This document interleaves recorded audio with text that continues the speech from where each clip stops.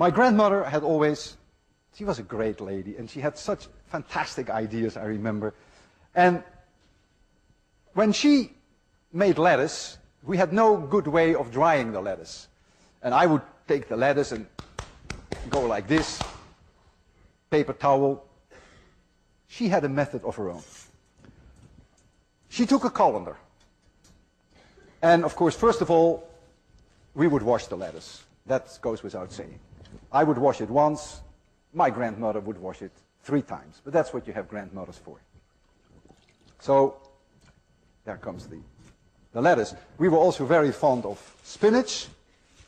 So add some spinach. We would wash it. There goes the spinach. Then she would take something to cover it up, maybe some saran wrap or something else. Put it over it and put a rubber band around it to hold it.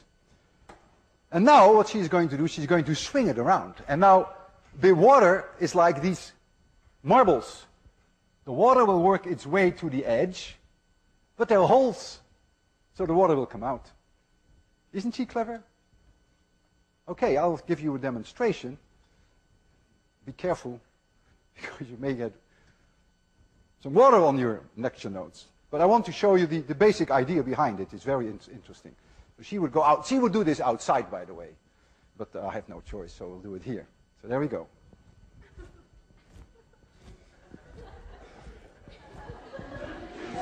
You see, this is the way you dry. Oh, I lost my magnetic strawberry. That's a detail in the process. So you end up with you end up with dry and clean and nice lettuce. This is 801 at work, and this is clearly an early version of a centrifuge. Now, my grandmother's method, very tragically, has been replaced lately with something that you can buy at Crate and Barrel. We have it here. Um, it is very boring. It's very decadent. Put the salad in here, and all you do is you rotate, and it dries. It's a centrifuge. This, this is actually a high-tech version of the much more sophisticated invention of my grandmother. And, and it's nowhere nearly as exciting. The days of romance are really over. But that's the way it goes. I'm now going to make a connection between rotation on the one hand and centripetal acceleration on the other. I'm going to make a connection between centripetal acceleration and perceived gravity. The way that you perceive gravity.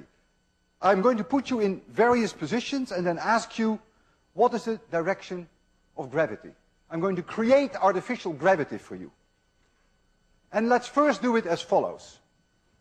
I first hang you on a string. There you are.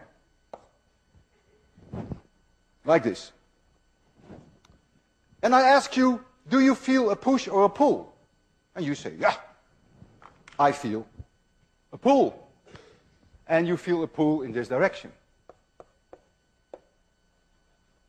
So now I ask you, ah, in what direction do you perceive gravity? And you think I'm crazy. You're right in that case, but nevertheless, you say gravity is in this direction. The other direction is the pull. Okay, so far so good. So now I'm going to put you just standing on the floor. And I say to you, do you feel a push or a pull? And you say, yeah, I feel a push. I feel a push from the floor up.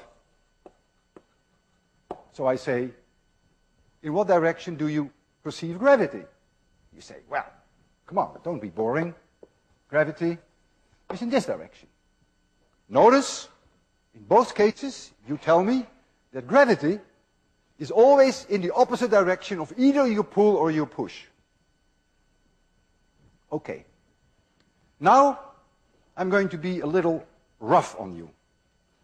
Now I'm going to swing you around on a string, just as if you were an apple. And I'm going to do this with you.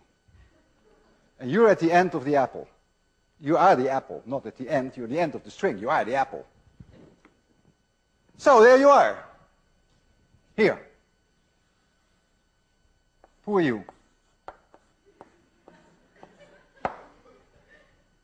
And I say, do you feel a push or a pull? And you say, yeah, I do. I feel a pull. Fine. In which direction? I feel a pull in this direction. Okay.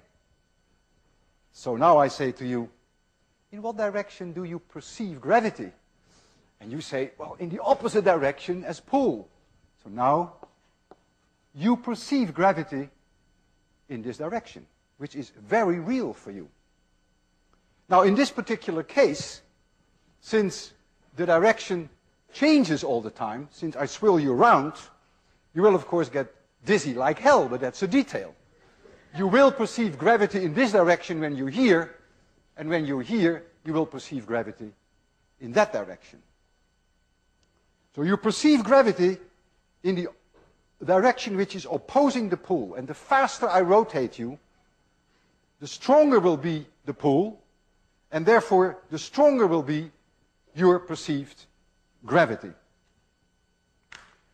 A carpenter would use a plumb line. And the carpenter would just hold the plumb line like this. The pull is in this direction. And so the carpenter says, okay, perceived gravity is in that direction. The carpenter happens to be right in this case. Gravity is in this direction. But it's the same idea. The plumb line is being used to find the direction of gravity. Think of this as being a plumb line. Defined, used to define the direction of gravity. Now, you're in outer space. You're going to play Captain Kirk. And you're in a space station, and there is no gravity. So, we're going to make some gravity for you. We're going to create some artificial gravity. So let this be your space station. It's a big wheel, a radius of about 100 meters. And we'll make it very fancy for you. We'll make some corridors around, like here. We'll make it a very interesting space station, like so and like so.